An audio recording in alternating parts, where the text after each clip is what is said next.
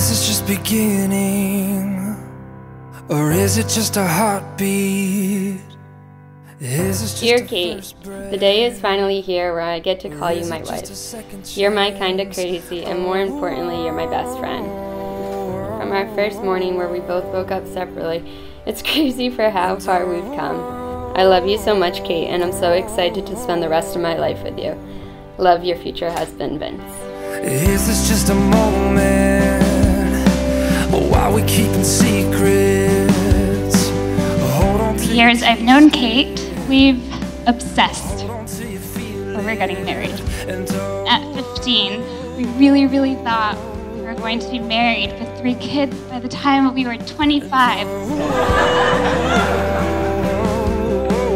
A few years ago, though, Kate and Vince, who we've actually known since high school, they reconnected.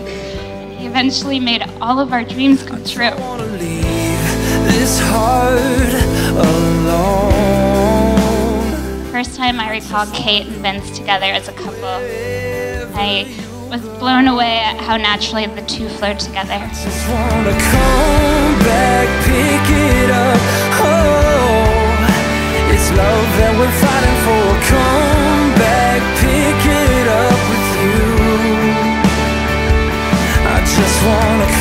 Love is not about what you get, it's about the opportunity to give.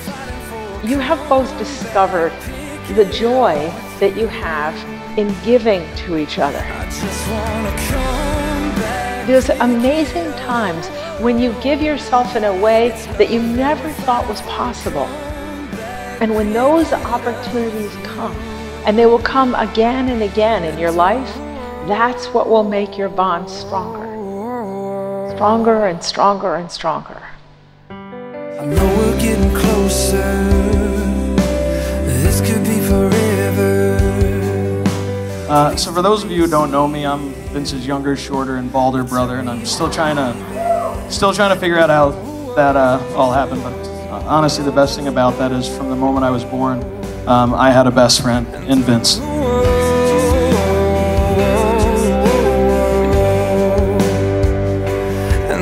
It's our wedding day. I can't wait to marry my best friend. From the moment we met 11 years ago, I always knew you were the one. Today is the beginning of our forever, and I can't wait to see where life takes us together. I love you so much. Love, your almost wife, Kate. I just wanna come back, pick it up. Oh, yeah, it's love that we're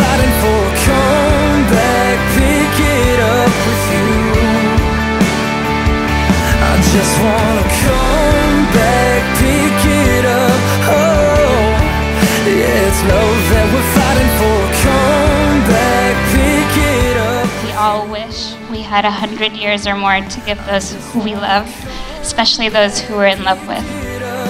Um, unfortunately, not all of us get 100 years, but we do have our lifetime. And that's why today is so special and so important.